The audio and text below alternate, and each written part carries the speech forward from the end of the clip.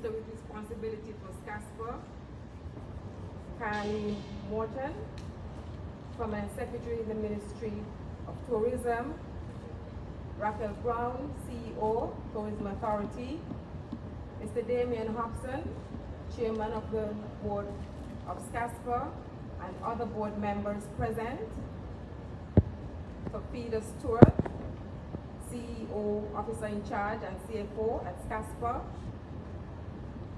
members of the media, other representatives of immigration, customs, and other supporters, good morning. We have just been through a very detailed tour of the retrofitted RLB airport. airport. We have been through, coming through the parking lot, right up through check-in, screening, on the tarmac, and transition to coming into RLB and through the facility retrofitted for what we face now as the pandemic in our world today. And I, I hope that the details have allayed any fears that you might have that RLB is ready to welcome passengers to our shores. And now we'll call on the Minister with responsibility for SCASPA, Honorable Lindsey Grant, to give some words of comfort and remarks for us. Mr. Grant, Honorable Grant.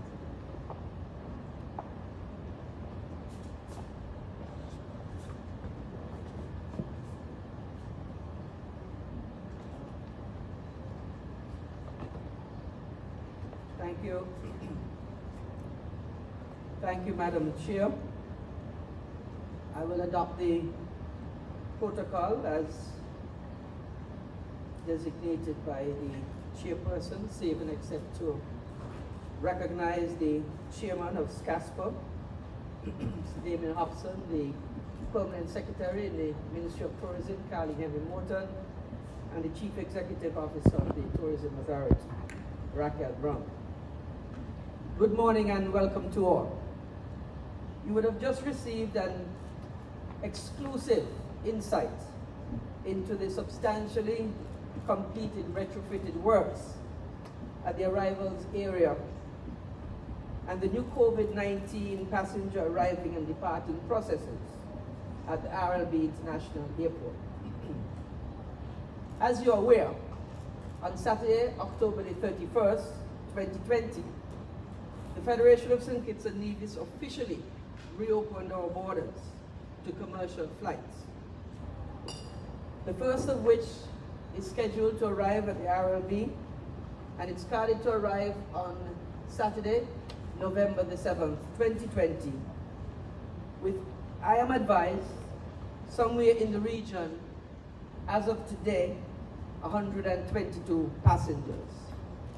That means the flight is technically full because it is a 128 seater. The St. Christopher Air and Seaports Authority, SCASPA, has been working diligently within a very short period to ensure that the airport's infrastructure and facilities are adequate for the safe processing of all passengers. The upgrade to the infrastructure included, I don't know if you went so far as the resurfacing of the Alpha Taxiway, the longest taxiway used primarily for the larger airlines, and the connection of Taxiway Alpha and Taxiway Bravo, and the parking apron. As far as the enhancement of the facilities is concerned, a welcome center and isolation center were constructed. The arrivals VIP lounge converted into a medical screening unit. The customs baggage area upgraded and the parking lot redesigned, as you had just witnessed, all in an attempt to reduce the spread and the risk of the COVID-19.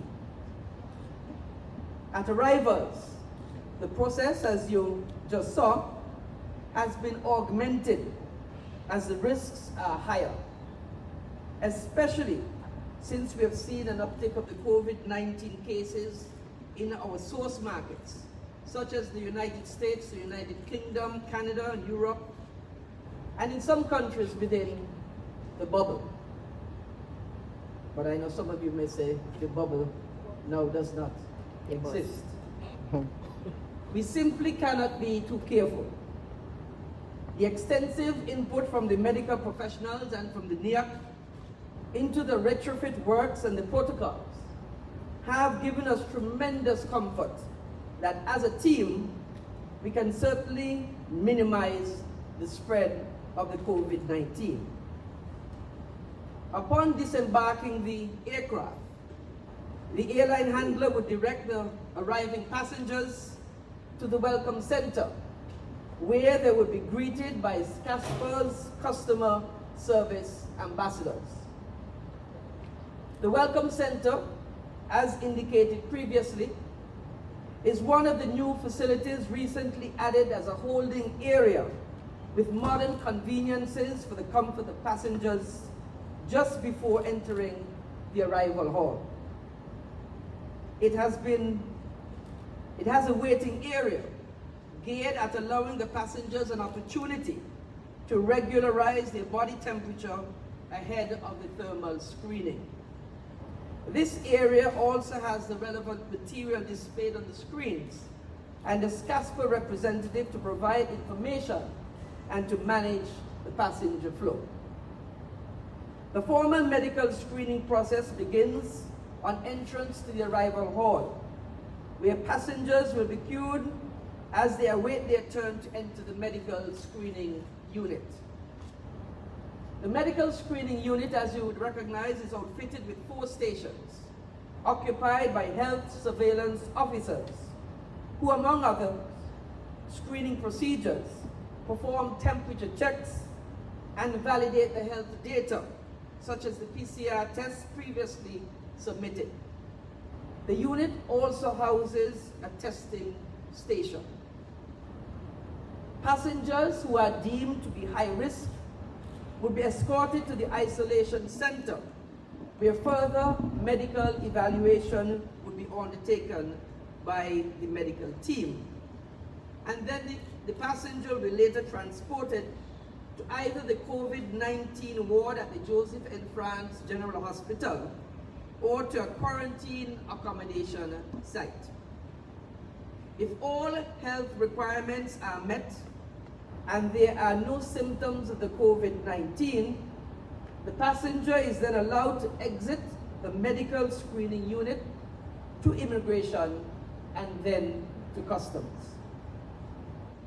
Passengers are expected to manage their luggage as Red Cap service will not be available at the arrivals in the customs area as is normally customary in the interest of minimizing all contact.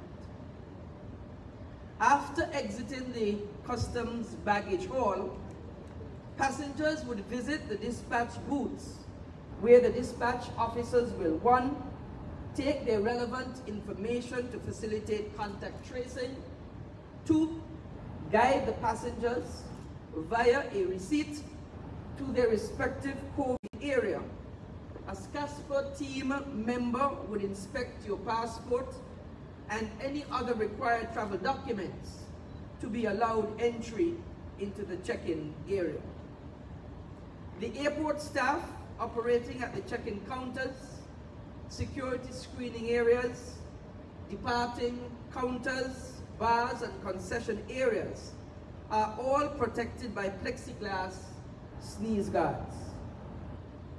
Additionally, throughout the airport, the following safety measures are in place, such as, but not limited to, the enforcement of the wearing of the mask and hand sanitization, markers on the floors and on seating to enforce the three-foot physical distancing of passengers, and directional signs to guide the passengers' movements. Now that the borders are open, and while SCASPA and NIAC, the health professionals and by extension the cabinet, have put measures in place to protect you, We cannot successfully tackle the spread of the COVID-19 without each and every one of us taking personal responsibility for our own safety.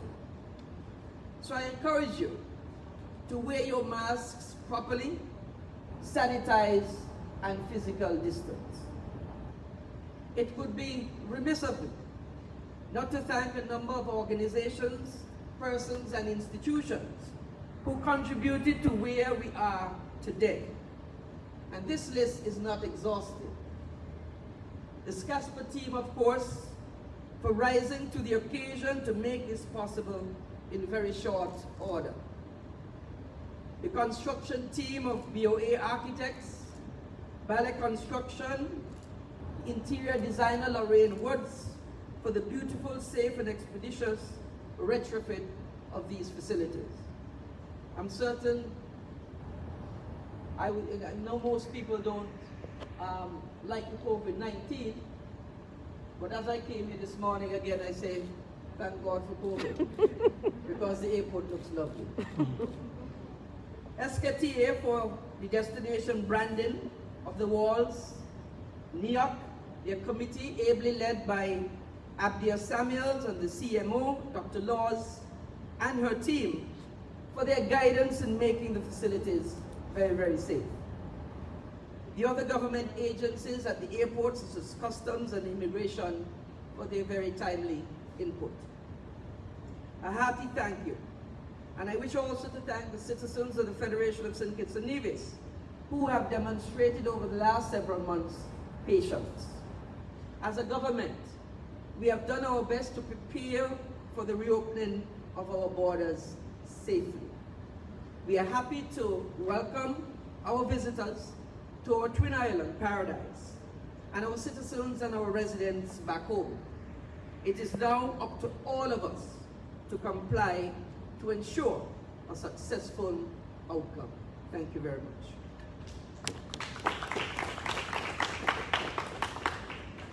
I suspect uh, we will await the media for any questions that they may have.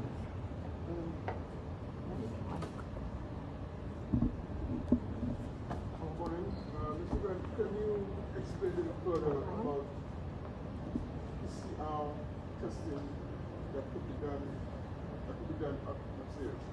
Um, how does one, how do the authorities authenticate the PCR test? Because I assume there are a number of laboratories in the United States, kind of, okay, wherever they're coming from. So how is their um, authentication of those tests? The medical team will determine the authentication of that PCR test.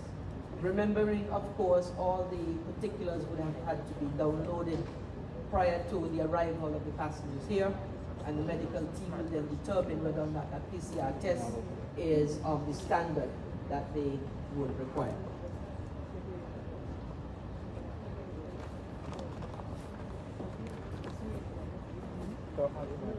Good morning, Devon Cornelius WINN FM. Um, Mr. Grant, at the last COVID-19 retrofit tour, you mentioned that the retrofit project is estimated to cost two million dollars and um, no understanding is at a cost of two point six million dollars. That is phase one. Um, what is the cost of phase two? Well, what I did say on the last occasion was that the retrofit works was costing in the region of 2.6, 2.7 million EC dollars. That would have been for phase one and phase two. However, because of the changes that we would have made to ensure that persons are much safer than they would have been prior to the configuration before, it meant that the $2.7 million was used in total for phase one of the project. Therefore, we will have to acquire more funds to complete phase two project. Okay, and one last question. Um, how many, um, if any, how many uh, private flights or charter flights have landed here in the Federation of. Kitts since the borders were reopened on Saturday? And I think Joy or Frida will be able to answer that. I am advised that since the borders have been open, 49 flights have arrived to the RLB International Airport. And where are these flights from? Well, these flights are chartered flights and necessarily come from Anguilla, from BVI, Antigua, and Barbuda. Okay. One last question, sorry. I'm also, I saw a video um, some time ago where they were spraying some luggage over in Nevis. Some flights landed over the weekend. Um, would you be able to say what was the substance used to spray those luggage? Um, well, it was used over at the Vance Amory Airport. I, I am not certain. Um, what I can tell you is that um, we are in the process of getting ours to feed up um, to ensure the, the, the, safety of the persons um, at the customs area. We must appreciate this is a very um, fluid situation and um, money is scarce at the moment. But although money is scarce, we have to make sure that we put all the necessary measures in place to protect our, our, our people and of course the visitors and, and citizens arriving alive. I would let um, Ms. Stewart add, add something to that. Just to add to what the minister has said, um, the guidelines that was provided by ICAO and IATA does not require the forming of pass. So we're also looking at that recommendation as well to the best. Um, Mr. Um, I noticed on the tour that um, there's, there's still a few bits of um, work being done. Um, last, the last time that um, it was mentioned that we are going to be ready for October 31st, but I see that um, that really is not the case. There's, there's even training going on at the moment. Um, so the question is, really, are we going to be ready for the weekend flight? Well, let me, let me put it this way. When we stated on the last occasion that we would be ready for October 31st, our readiness was in terms of what we knew was, which was that there would have been no commercial flights arriving before November 7th. November 7th. Our readiness was in terms of being able to allow the charters, etc., in which we were allowed, were um, allowed to. Um, I am advised that come November 7th, we will be ready. Um, I think 95% or thereabout the works are complete. You would have told this morning. Yes, we have one or two um, bits of uh, works to, to complete, but I'm advised that those will be complete. In any event, on November, November 7th, we will be ready for American Airlines flight, which houses 122 persons. We have no difficulty with that. What we what you must understand, it's a work in progress. Um, we expect we're going to have our teething problems on Saturday. It's a new um, and uncharted waters we are in. As you recognize the newness of testing 122 persons passing through, obviously the, the, the speed at which we normally come to the airport is not going to be the same. So, you know, November 7th for us is a moment, a signal moment and obviously we will learn from whatever challenges we have um, on the 7th. Good day, uh, Lashan Nixon, uh, St. News Observer. Um, during the walkthrough, uh, we didn't discuss uh, the custom screening process for a potential um, high, high risk passenger. Um, can that be detailed? Well, as I had indicated earlier, if one is a high risk individual, they won't even reach here. The high-risk person will be walked through the retrofitted VIP area, back out into the isolation um, office, if you want to call it that, at the back. They will then be moved, depending on what the health authorities say, either to the GNF France General Hospital or to an isolation center um, to be taken care of, away from the general public. Carla Berry, Broadcasting Corporation. Two questions. How long do you anticipate it will take each passenger to get through the procedures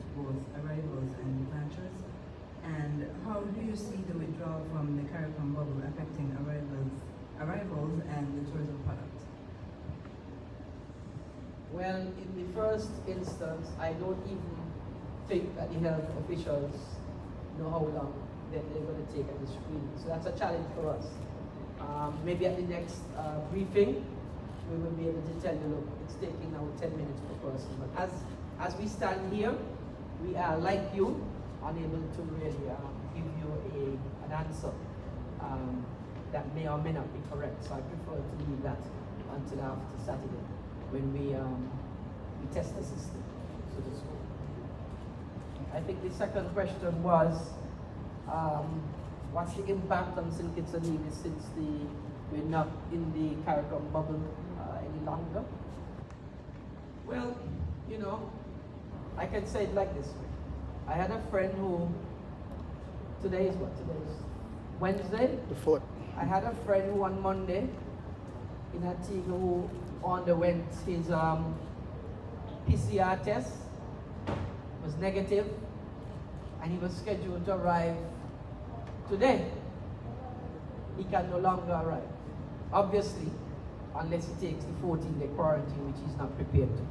So the short answer is yes, we're going to be affected by it because it's going to be very difficult for persons who really want to come and spend a few days to do that in a quarantine period. But we, you know, we understand the, these are challenging times and people will have to adjust and readjust to the changing times. And this is just one of those uh, critical times that we have to change to.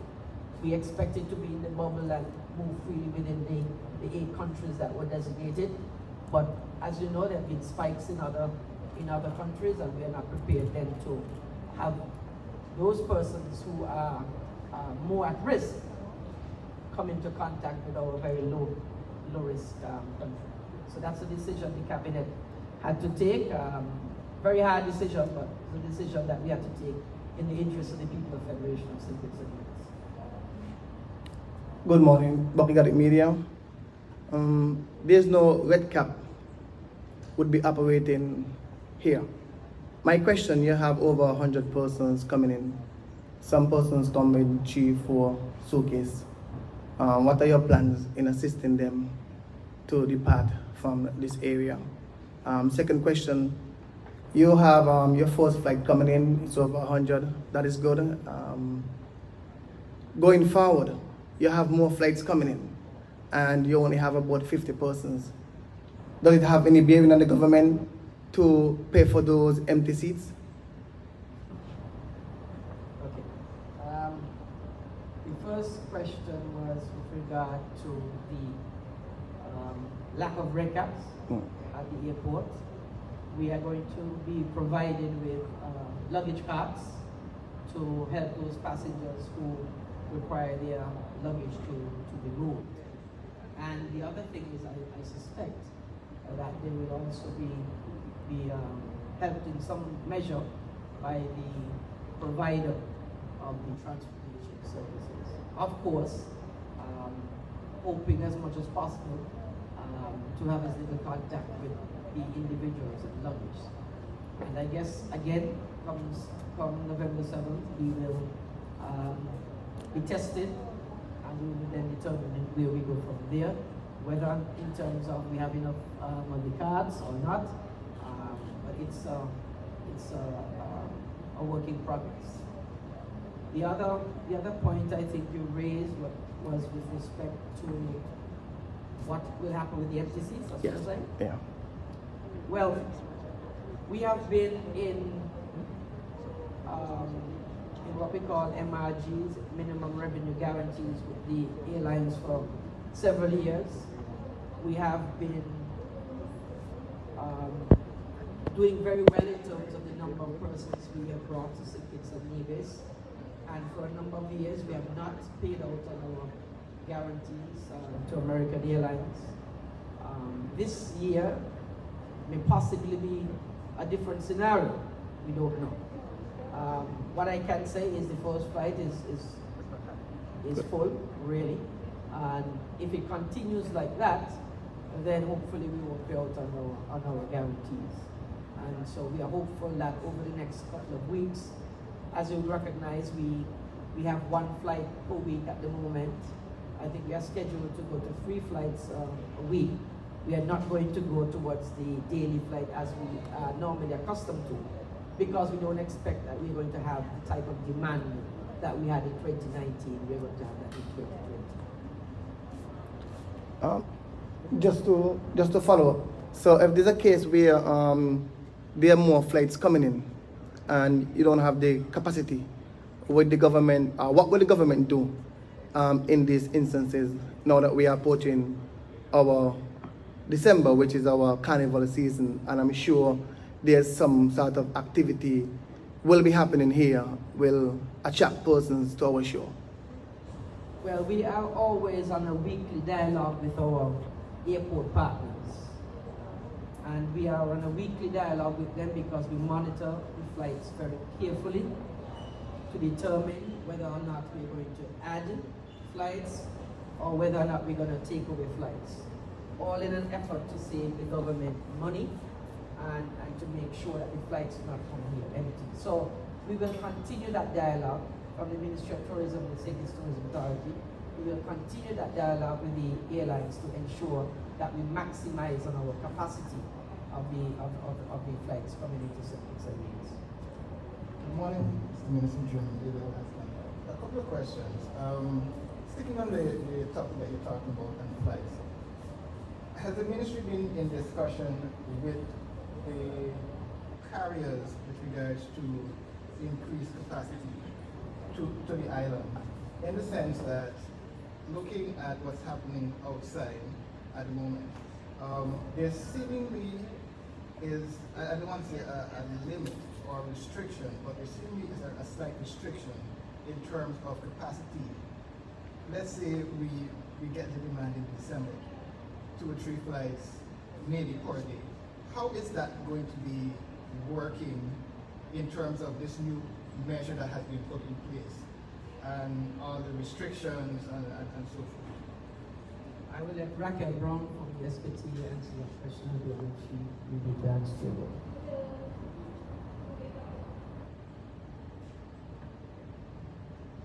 Good morning, everyone. Um, at this point in time, with the seven properties that we do have open, uh, we are looking at the capacity and we know, for example, based on the rooms that we have, it's 620 rooms that are going to be, if all of them open uh, at the same, for, as of right now or into December, the air, the flights that we have available daily from Miami are sufficient. Um, three days a week, sorry, I should say, are sufficient. If they see an increase, they will increase it, but they're doing it based specifically on the room stock that we currently have. Our room stock is no longer 1,800 rooms. It's 620 with the seven properties that are in currently allowed for international travel. For the other airlines, such as Delta and United, those will remain as Saturday flights, and they're to be determined shortly, depending on what's happening in the United States, if the service will continue because they're waiting just to see as everything is full. I hope I answered the question. Basically, so you are in discussion with the airlines in terms of whether or not they're going to be coming and how they're going to be coming to from the schedule. The, the problem with the schedule is that everywhere off of the northeast, um, they're an hour behind and they have to leave between 8 and 9 o'clock by our time. So they're actually going to be having to leave um, say it's 8, 9 o'clock here, it's 8 o'clock there. So what happens is that the flights are usually four hours.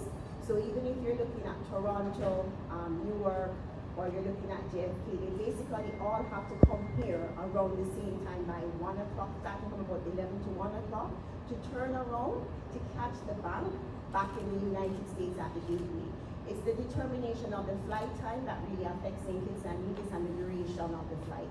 So there's very little wiggle room. Um, and also you want to have enough passengers to be able to get on the flight. You don't want to have a 7 a.m. or an 11 a.m. because there are going to be two issues. If you have an earlier flight, you run the risk that their connections, they won't make them, especially from over JFK and Newark. And also if the flight leaves later, the airline doesn't have an opportunity to use that. And so that's a, a yield, uh, revenue yield issue for them. Okay, um, a couple of questions. One, is there any consideration, and this is probably for more for the minister, is there any consideration to upgrading what is currently out there should the demand, the demand for flights come to St. Kitts and Nevis? Um, especially with the fact that there are only, from what you see, there are only two isolation rooms outside. Um, what happens if a passenger, because we've seen this happening, what happens if a passenger travels and for some reason, miraculously, he doesn't, he or she doesn't come with their COVID-19 test, even though they would have forwarded to St. Kitts and Nevis already. We've been seeing it happening. Uh, we don't know how that has been happening, but uh, especially those in transit and they, they were stopped. So what happens in an event that that happens?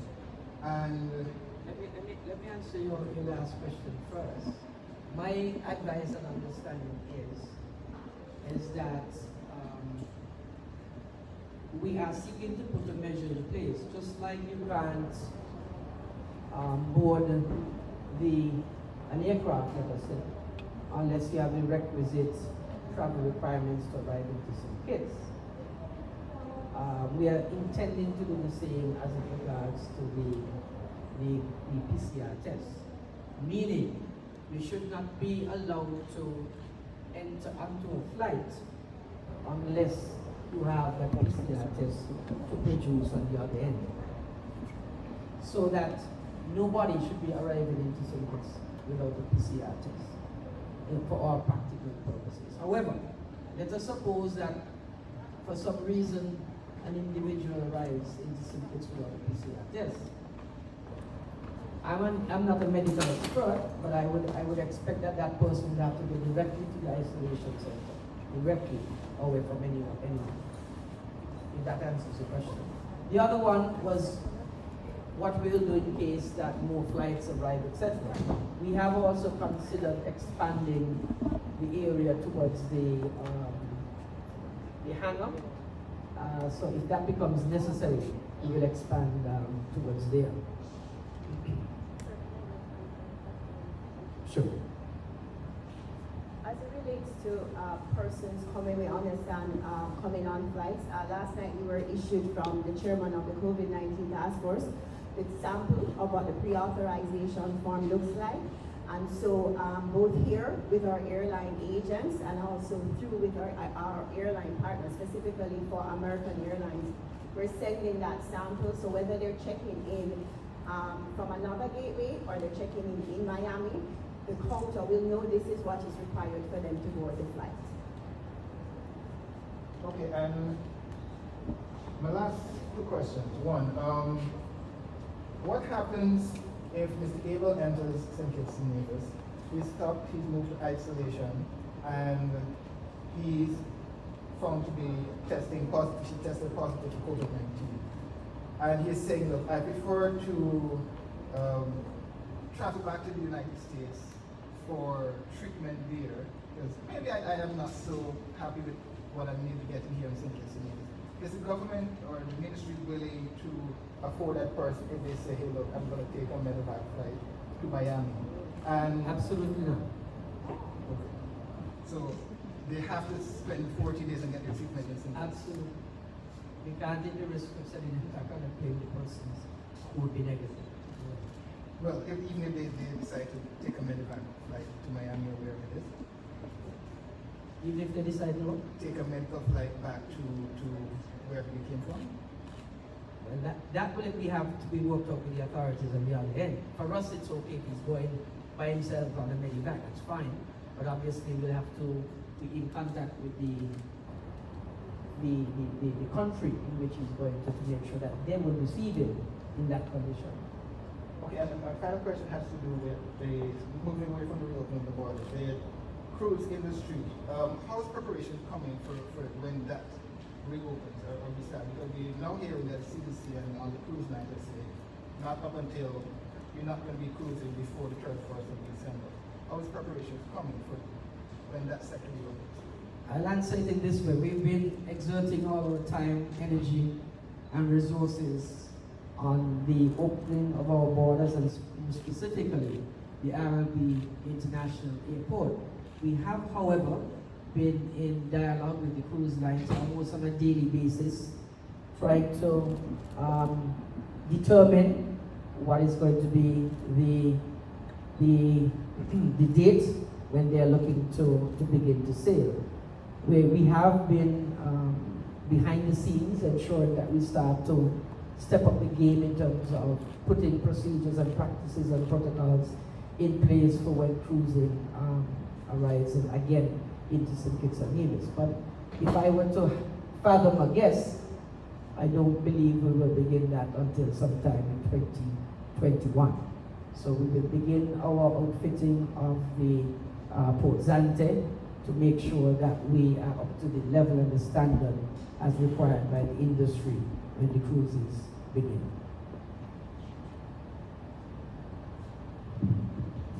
Alicia Daniel Lake, Sugar City, 90.3 FM. And Minister, as you mentioned, um, the withdrawal of the Federation from the bubble may cause some persons to change their minds from coming to the Federation. So the question really would be to the Tourism Authority, have other ways of attracting long-term visitors being investigated? For example, there are some islands that are offering a work from the beach type of package because, you know, the time in quarantine would kind of change persons' minds from shorter stays, but what about longer stays? Uh, so, with the change of the regulations, it must be with the Car Car Caribbean bubble, we are not the only island now. So Barbados is in there, Grenada is in there, and St. Vincent has implemented a, a mandatory five-day quarantine. Uh, as it speaks to um, our tourism market, what we're doing first is just to get, the first decision was to get the destination reopened, those bookings that were there for the short term, to address those and to see how persons can still come and have their vacations if they would like to have. Yes, we're looking at something involved in the CBI program um, as it relates to persons, how we could um, blend them together to get an opportunity. Every Caribbean island is doing it, so it is going to be based on the one that has the most competitive offer. Uh, so we also have to look at if there are other exclusive opportunities through marketing where persons may be coming not for as long term for a year, but they're willing to come to stay for six weeks because it's that vacation time that they normally spend when it's the winter time or it is the springtime. So yes, we're looking at all alternatives. Uh, everyone is looking at the market for persons to come and work. And for us, yes, that's an opportunity, but we also have to diversify the opportunity. So we're looking at every opportunity possible. Calabaris, we have spoke briefly about Port Zante. In terms of Christophe Harbour, for instance, are yachts being allowed to enter? And if so, what protocols are in place or will be put in place?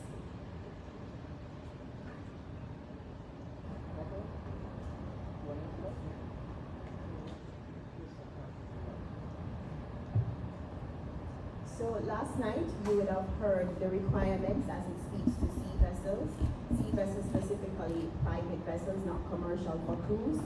Uh, there are requirements there as it speaks to how they will be entering the federation. Unfortunately for us, we're entering the season very late, where it's November, and most of the persons who have who would, would be thinking about re um, entering the Caribbean, for example, from Europe or even coming from the United States, they would have already decided the location they would have wanted to come to from as early as August. It doesn't necessarily mean that there aren't opportunities, but the opportunities right now for November, unlike the regular stay over, as it speaks to hotel accommodations, that time has already kind of passed for yachting. So the opportunity is there for next year. However, um, what we'll be getting is what persons may be making a last minute decision.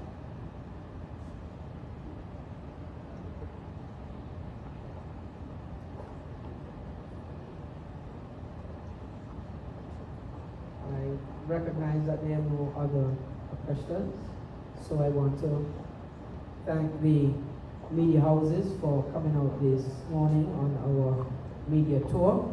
And I want to thank Frida Stewart and Racquel Brown for supplementing the answers to some of the questions you may have posed. So we thank you very much for coming out and we want you to have a, a wonderful day. Thank you.